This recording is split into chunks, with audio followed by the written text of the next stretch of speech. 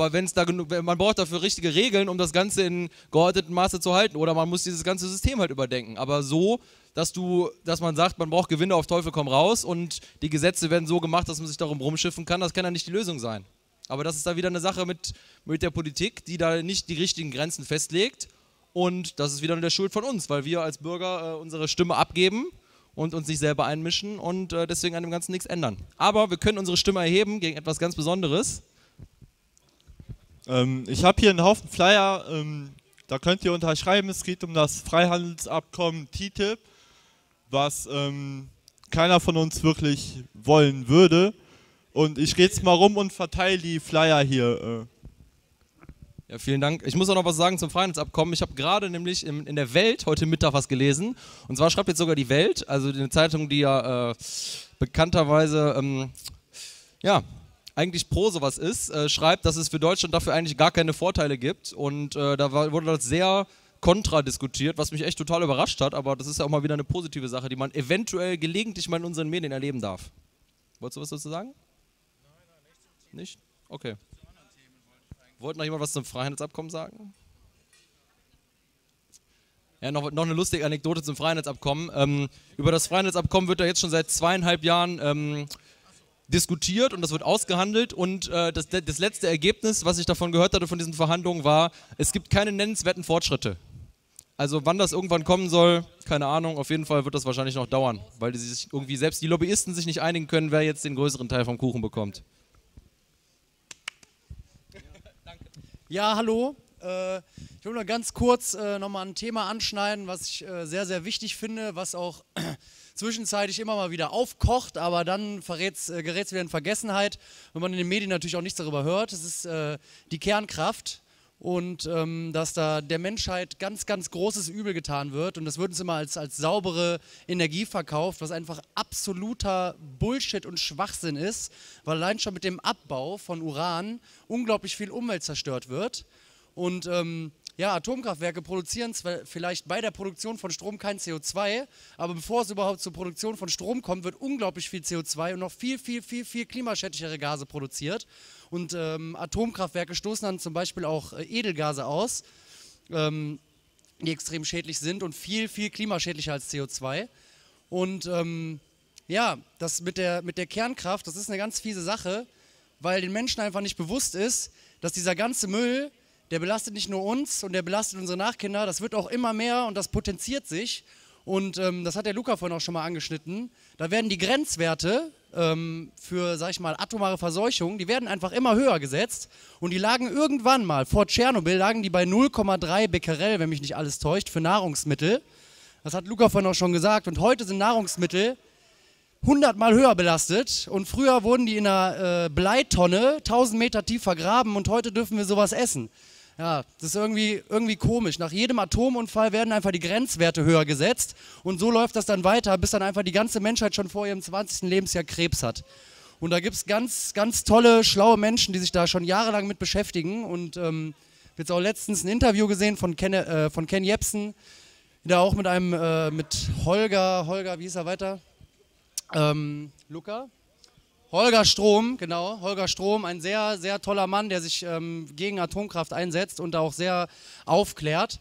Und äh, das wollte ich nur noch mal wieder ins ähm, Bewusstsein widerrufen, dass das auch eine Sache ist, wofür wir definitiv auf die Straße gehen müssen, gegen Kernkraft, weil es ist keine saubere Energie. Es zerstört die Zukunft unserer Kinder und dagegen müssen wir was tun.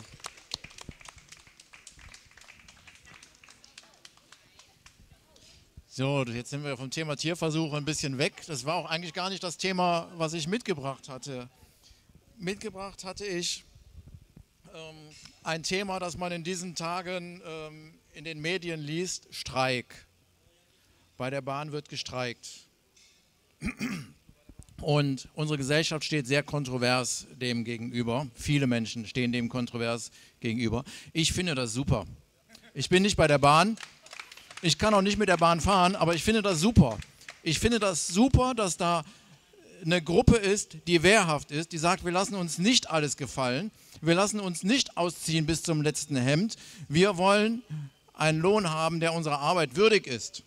Und wir sollten nicht sauer sein auf die Menschen, weil wir ausnahmsweise mal nicht mit dem Zug zur Arbeit kommen und vielleicht am nächsten Tag auch ausnahmsweise, sondern übernächsten, sondern dass da Menschen sind, die da, wo wir zu feige sind, wo wir uns alles gefallen lassen haben, aufstehen.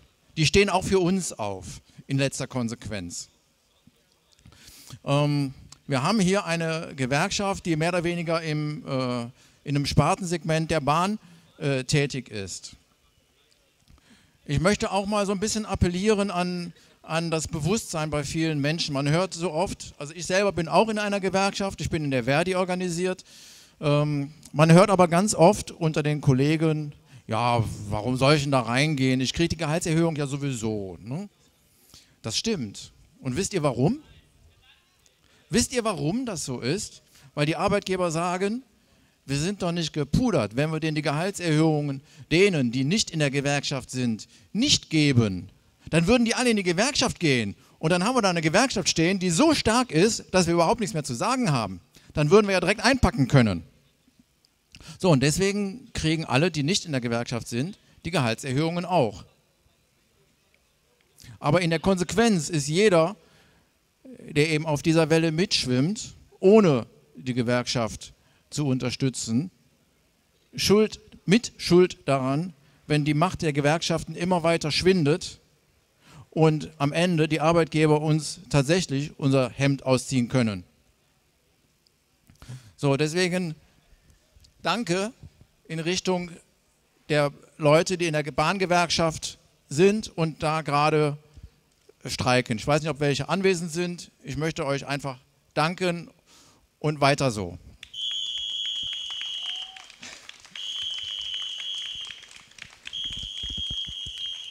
Da scheint tatsächlich einer hier zu sein. Dann habe ich ein weiteres Thema.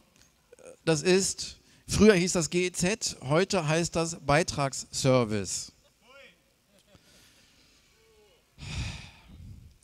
Ich bin einer von denen, die bisher noch nicht gezahlt haben.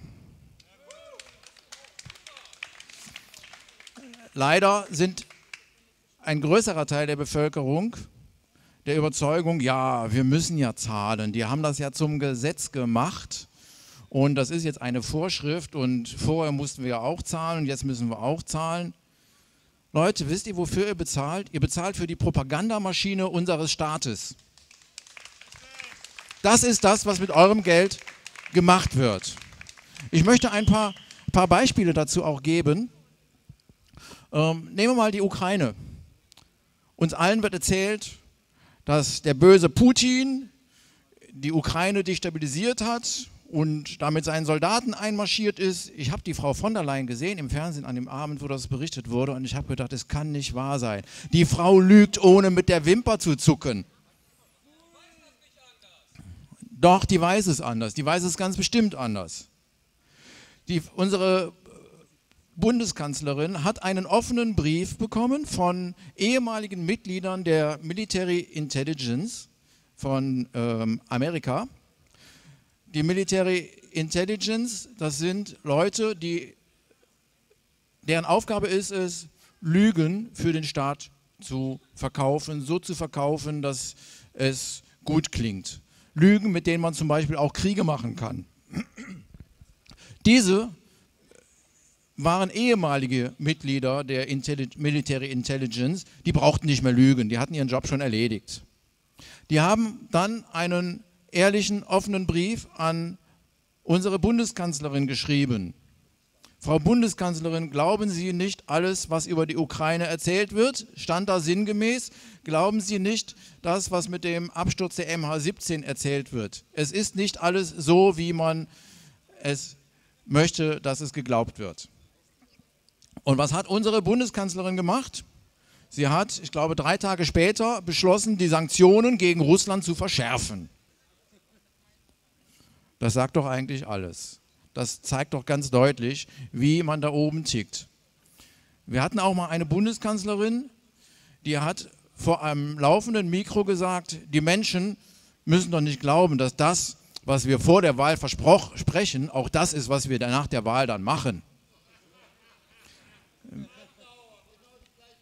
Und ein anderer Bundeskanzler, Kanzler war es, glaube ich, hat gesagt, was interessiert mich mein Geschwätz von gestern. Das ist im Grunde genau das Gleiche. Richtig.